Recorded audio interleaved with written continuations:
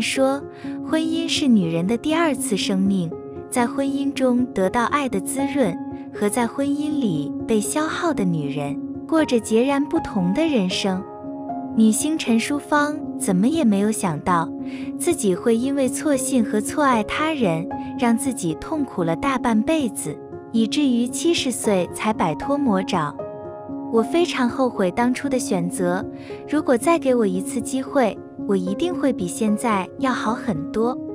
这是老戏骨陈淑芳在接受采访时说的最多的一句话。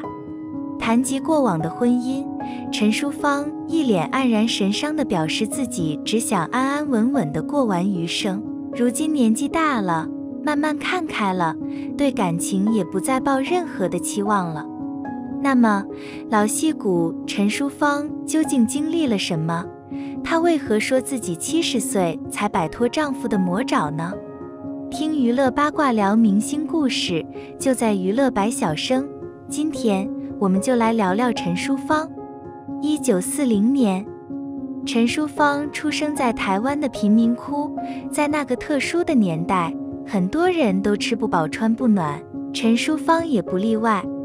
陈家一贫如洗，家境贫寒，父母重男轻女，认为读那么多书没有用，还不如早点打工补贴家用，或者嫁人换彩礼。陈淑芳并不想那么早就嫁人，她希望能通过自己的努力改变命运，出人头地，摆脱这样贫困的日子，所以宁愿辍学打工，也不愿意婚姻被包办，嫁给素未谋面的人。上天给你关了一扇门，就会给你开一扇窗。虽然陈淑芳的日子过得很艰苦。但好在她自小长得美丽可人，美貌应该算是她唯一能拿得出手的闪光点了。十八岁那年，陈淑芳出落得亭亭玉立，外形条件出众的她，在朋友的劝说下，跑去试镜当演员。在那时候，没有学历，又没有一技之长，想出人头地，简直就是难如登天。如果有幸被选中当演员，那就多了一个改变命运的机会。好在陈淑芳得到了幸运女神的眷顾，成功脱颖而出，成为一名演员。其实也是从群演做起，因为不是科班出身，又没有后台，对陈淑芳来说，能被选中当群演已经是天大的恩赐了。就这样，陈淑芳开始接触演戏。时常演一些没有台词的甲乙丙丁，或者当背景板。为了能有所突破，陈淑芳比很多演员都要努力和敬业。他曾经不顾疼痛锯掉自己的三颗门牙，只为真实呈现角色讲话漏风的状态。然而，因为遇人不淑，遭人侵害，陈淑芳断送了自己前半生的幸福。让好不容易好转的命运再次发生了改变。二十岁出头的时候，陈淑芳因机缘巧合认识了一个纨绔子弟，那人家境优越，花名在外，对陈淑芳一见钟情，随即展开了猛烈的追求。陈淑芳打算和那名纨绔子弟说清楚，彻底斩断他的念想。可让陈淑芳万万没想到的是。在他摊牌之后，纨绔子弟竟然恼羞成怒，用计占有了他。在那个年代，贞洁对女人来说比任何东西都重要，可想而知，失去最宝贵的东西，陈淑芳有多难过和害怕。屋漏偏逢连夜雨，不久后，陈淑芳竟然发现自己竟然怀孕了。万念俱灰的她想到结束自己的生命。希望用死来洗刷自己的罪孽，好在被亲友及时发现救了回来，并且纨绔子弟的原配找上了门。对方原配表示自己已经听说了这件事情，希望陈淑芳能把孩子生下来，并嫁过去当小妾。当时外面传了很多流言蜚语，让陈家饱受争议，在众人的舆论。以及当时传统理念思想的促使下，陈淑芳最终还是选择嫁过去当小妾，嫁给了施害者。这样煎熬的日子一过就是十几年，冰冻三尺非一日之寒。随着时间的累积，陈淑芳终于爆发了，她再也忍受不了这样的生活，决定离开。于是乎，陈淑芳的第一段婚姻在维持了十几年后彻底结束了。因为两人之间没有爱情，丈夫也没有阻止她离开。直到这一刻，陈淑芳仿佛重获新生。她后悔自己没有早点离开，更后悔当初被舆论影响，嫁给施害者。如果能重新来过，她一定不会重蹈覆辙。结束了第一段婚姻的陈淑芳，享受着久违的自由，同时也想要追求真正的爱情，希望能尽快从上一段犹如噩梦的婚姻中走出来。当然了，追求爱情的时候也得有面包才行。陈淑芳重新进入娱乐圈，但因为娱乐圈新人辈出，已经没有她的立足之地，她的行情连群演都不如。可就算生活再困难，也得继续前进，不是吗？想到这里，陈淑芳放宽心态，决定顺其自然。有了好心态加成，陈淑芳在不久后便遇到了自己的第二任丈夫。一九八零年，四十岁的陈淑芳邂逅了一名外国男子，那名男子比陈淑芳年纪稍长，风度翩翩，谈吐不凡。可以说，他既有着西方男子的风度和浪漫，又有着东方男子的温柔与体贴，一举一动都令陈淑芳悸动不已。两人相见恨晚，相谈甚欢，很快就坠入了爱河。陈淑芳觉得，他就是自己追逐的爱情，是对的那个人。相恋仅一年，两人以迅雷不及掩耳之势在国外结了婚。陈淑芳也开始了自己的第二段婚姻。陈淑芳以为自己找到了真爱，终于可以过上梦寐以求的幸福生活了。殊不知，这竟是噩梦的开始。结婚之后，陈淑芳并没有迎来想象中的幸福生活。相反的是，她发现外国丈夫的控制欲很强。陈淑芳第二任丈夫的控制欲强到什么程度呢？刚开始的时候，丈夫要求陈淑芳不管去哪或者做什么事情都要跟他汇报。如果丈夫不同意，陈淑芳就不能做，没有一点自主选择权。